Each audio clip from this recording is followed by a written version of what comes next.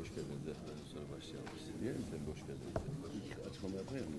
Değerli arkadaşlar, büyük bir afete karşı karşıyayız. Aslında afeti ismi verildi. Fakat bir grup insan hala çıkıp ne canım bunda ne var ki falan diyebiliyorlar. Ne aslında afetiymiş canım. Öyle bir şey mi var da diyebiliyorlar yüzsüz bir şekilde. Bakın iddialı başka bir şey söyleyeceğim ben. Biz bin yıldır bu Anadolu topraklarındayız. Kurduğumuz medeniyet bin yaşında neredeyse. Bin yıl boyunca böyle bir afetle karşılaşmadık. İki tane 9 saat arayla 30 kilometre mesafede fay kırılıyor. 11 vilayet doğrudan etkileniyor. Yaklaşık bir 11-12 vilayet de dolaylı olarak etkileniyor. Yüzlerce orada hasarlı binalar var. 14 milyon insan etkileniyor bundan. Şu ana kadar 47 bin canımızı kaybettik. 47 bin can. Hayat durdu adeta buralarda. Böyle bir afetle daha önce karşılaşmamıştık. Aynı zamanda sayılar her gün değişmekle birlikte 600 binin üzerinde bağımsız birim yıkılmış vaziyette veya ağır hasarlı yeniden yapılmak zorunda. 300 binden fazla esnafımız var bu bölgede. Bu sayılan 11 vilayetin ihracat rakamları 20 milyar doların üzerinde. Antep hariç neredeyse diğer sanayi tesislerde durma noktasına geldi. Böyle bir afetin olduğu bir yerde siz hala bunu küçümserseniz sonra da siyasi rant elde etmek için geziler düzenlerseniz size de ayıp olur herhalde. Değerli arkadaşlar böyle büyük bir afetin altından ancak bu millet kalkabildi. Çok şükür. Bizim Antakya'nın yanında Defne bölgesi var. Neredeyse AK Parti'nin oyu çok cüzi ve gerilerde. Yok gibi. Samandağ'da aynı şekilde. Meclis üyemiz bile yok. Ama bizim Kocaeli Belediye'miz şu anda Defne'de hizmet ediyor. İlçeleriyle beraber. Samandağ'da bizim AK belediyelerimiz var.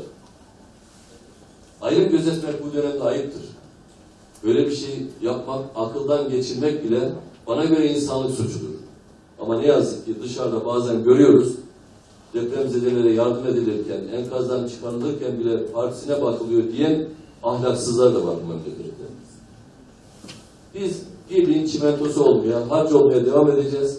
Elimizden gelen hizmetleri de vermek için canla, başla inşallah çalışacağız.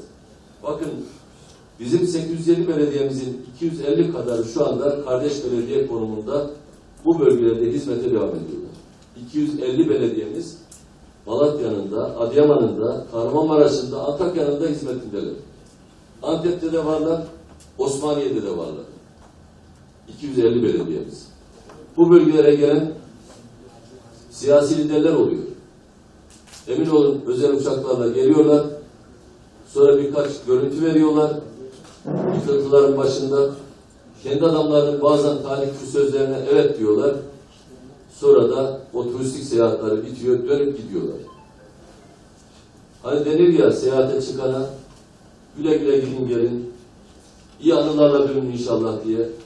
Biz de onlara o turistik seyahatlerinde başarılar diliyoruz. Güle güle gelsinler, hoşça vakit geçirsinler, sonra da iyi anılarla dönsünler inşallah. Devasa belediyeler var arkadaşlar. Son seçimlerden bu tarafa 40-50 bin kişi adamlar aldılar. Ne olur yarısını gönderseler buraya. Binlerce iş makineleri var. Aradığımız zaman ne yazık ki bu bölgelerin çoğunda göremiyoruz. Tek tük bazı yerlerde gözüküyor. Eh, ellerine sağlık. Onun için de teşekkür ederiz. Diyecek başka bir şey yok.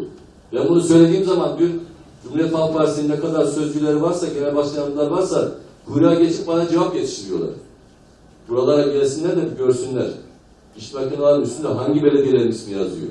Sırtında hangi belediyelerin arması var arkadaşların? Gıda dağıtanlar kimler? Aşevi kuranlar kimler? Çadır kentlerin başında gayret edenler kimler? Gelsinler lütfen görsünler. Algı operasyonları çekip bana cevap yetiştirmeye uğraşmasınlar. Hiç değilse gelip bir ucundan tutsunlar onları. Ama ne yazık ki onların her zamanki hali böyle. Onlar 2019 seçimlerinde baş tacı ettikleri bir belediyecilik var. Algı belediyeciliği. Hiçbir iş yapmadan, hiçbir proje imza atmadan, milletin derdine derman olmadan çalışıyormuş gibi gösterme belediyeciliği. Niye? Ajanslara büyük paralar veriyorlar.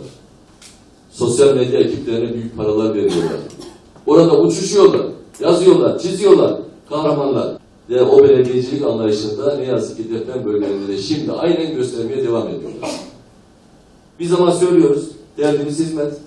İnsanlarımızın duasını almak, biz yine aynı bildiğimiz şekilde bu yolda devam edeceğiz inşallah. Bu ülke deprem ülkesi. Son 100 yılda bu memlekette 6 ve üzerinde yıkıcı şiddette tam 60 tane deprem var. Yani neredeyse bir buçuk senede bir, iki sene olmadan büyük bir deprem afetiyle karşı karşıyayız.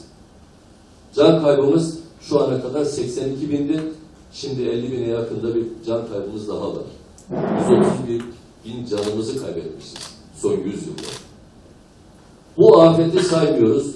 Geçmiş dönemdeki afetlerin bu ülkeye bedeli 100 milyar doların üzerindeydi.